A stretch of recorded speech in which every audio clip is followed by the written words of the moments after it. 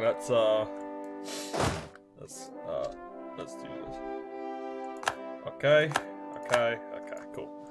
As long as I'm not at war, I don't give a shit. Alright? That's the most important thing. Oh my god almighty.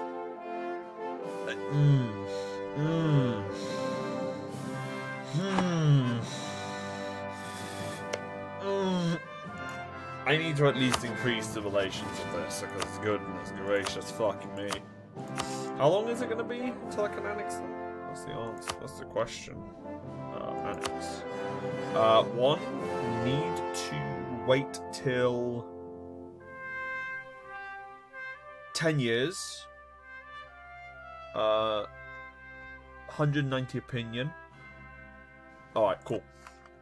So 190 opinion, 10 years, and I'll be good.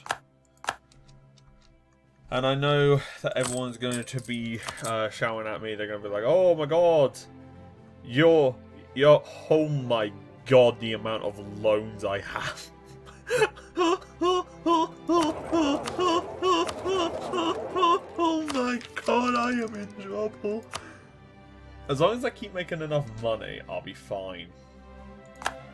As long as the coalition themselves don't actually declare war on me, I'll be. oh, good grief! this is gonna be bad. Well, you'll see what happens if they declare war on me. If they do declare war on me, what I'll probably do is let them just take out all France, and then I'll just wait and wait and wait until they offer me a peace deal that doesn't screw me over.